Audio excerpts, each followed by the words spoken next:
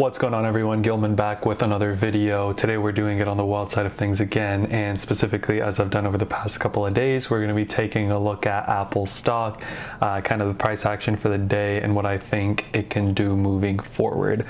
Um, so to waste no time getting right into it, I'm going to click on the one day chart right here. Um, and you know NASDAQ is up nicely today, right? Which is a good sign. If we take a look at the five day chart, you know, it was pretty choppy, gapping down, gapping down. Um, but today, um, you know, it gapped up a little bit and then kind of filled the gap, but then continued upward, which is definitely a good sign. Um, Dow was up as well, about 136 points. Um, you know, nothing kind of close to the drop we've seen in the past week, but you know, nonetheless, um, green is green. And and SPY, uh, S&P 500 again was was up for the day about one percent, so that's good. Now getting into Apple, right? So one day chart, let's take a look at what happened. So it opened, it gapped up nicely um, from, you know, closing in the 110s to coming up in the high 112s.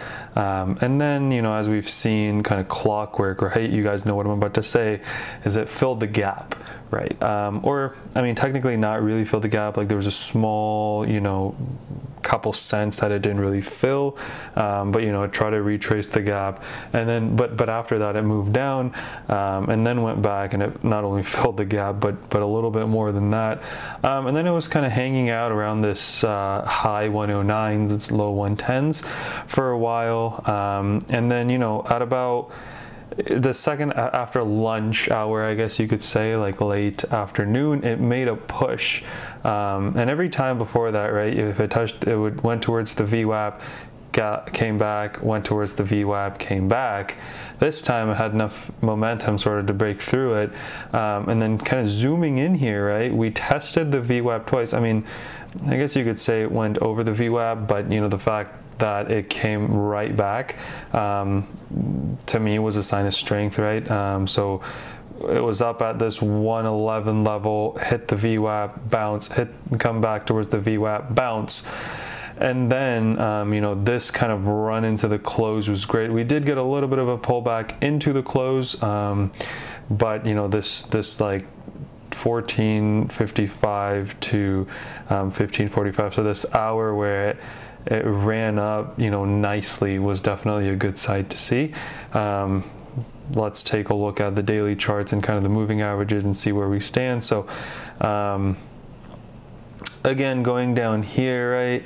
Um, zooming into the moving averages, this is the 20, 50, and 200 day moving average. Um, you, you'll see the, the numbers here, but taking a look at the 50 day moving average, right? It was at 111.20. Um, and we, we did, you know, break that for a little bit, but as you can see, you know, the candle, if we zoom in, um, you know, it, it, did find support here and, and sort of made sure to stay above that level, which is always a good sign. And then taking a look at the EMAs, check this out. So um, again, taking a look at, you know, here for the numbers and here for the high low of the day, look at that. So um, the EMA 55 was at 109.34 and the low for the day was 109.16 right? I personally like to look at the EMAs because if I mean you could zoom in here, right? So you see this this candle and this down, um, uh, the the wick of the candle. Um, bounced basically right off of this EMA, right? So that's a good sign it found support and continued upward. Um, so hopefully it continues its move upward. We'll kind of see what happens tomorrow, um, whether it gaps up or it gaps down. Um, you know, it. Uh, the price action that happens after is something to be really you know cognizant of. Just because it gaps up does not mean you know that's the buying point right? As we've seen you know today um, you know gapped up and then came down right? Let me take the line away. Um, gapped up and then came back down, came back down, right? So just because it gaps up does not necessarily mean that it's going to move up from there. Um, again, take a look at the indicators, kind of see what they show you. And if it does gap up, you know, wait a while to see if it fills the gap um, and what it does after it fills the gap, right? So if it fills the gap and it moves right back up, great. If it gaps up but then continues to fade throughout the day and we're getting, you know, lower lows um, than kind of where we started the day, that's not really a good sign. Um, and at that point, you know, you kind of have to figure out what you're doing. Hopefully, for those of you that um, are holding Apple in their long-term portfolio, like I am, um, a little bit of this upward trend is definitely good. Um, we went down to, we were down in the 106s yesterday, um, and then taking a look at the five day chart, we were down all the way uh, to 103 at one point. So this upward move is really good. I mean, take a look at this, right? So just, this was yesterday, um, 921.